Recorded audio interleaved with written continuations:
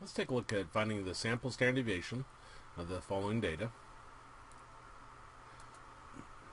Now again, I'm going to create a new script, so I'll do a file, new script, and um, I'm going to bring in the uh, numbers that I'm working with.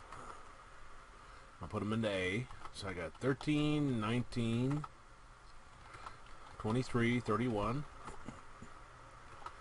45, 46, 47, 51, and 53. So it's in our data set A. And I'm going to do a print, and then beginning parentheses, and SD is our sample standard deviation.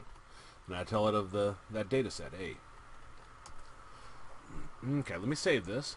Now when I give it a, a name, I'm going to give it a name that refers to the sample standard deviation.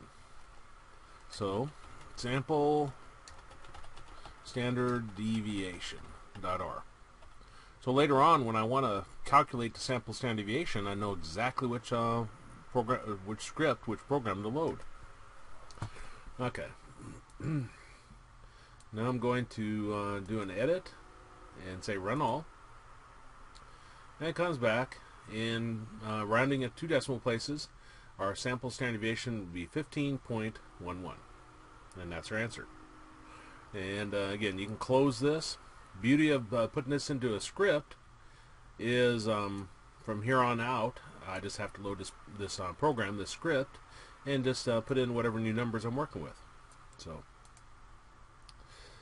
this uh, video we took a look at uh, calculating the sample standard deviation using the R language.